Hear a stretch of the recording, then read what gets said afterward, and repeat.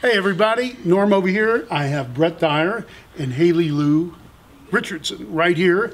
And these guys are TV and movie stars. and true. they came in here and they bought a couple shirts and I tricked them into buying some guitars. He bought a really cool Dove and a 66 Jaguar that's stunning. It's dope. And- I, I talked him into getting the Dove one because. I like that. And uh, Brett is on the show Jane the Virgin. And Haley is one of the big stars in the new movie The Edge of 17. Go see it. It's fantastic. And Haley plays the bad girl that talks.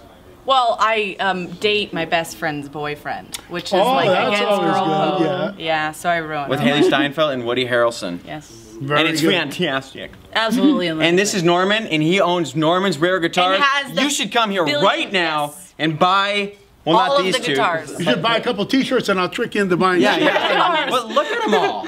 They're in- it's insane. So go, come here. Yeah. Right away. Well, these are nice kids, really nice people, Oh, thanks, Norman. and I wish you all the success in the world. Thank you, Norman. much, Oh, guys. we've had fun Thank here you. today. Yeah, it was All right. fun. It was fun. Absolutely. I mean, I just wanted a couple of shirts, but I, I mean, it was good though. It was good. You know, It was I'm a fun. hell of a salesman. He is. Oh, and so, Haley Lu Richardson, Brett Dier, right here in North. Woo! Spring break. No, I'm just kidding.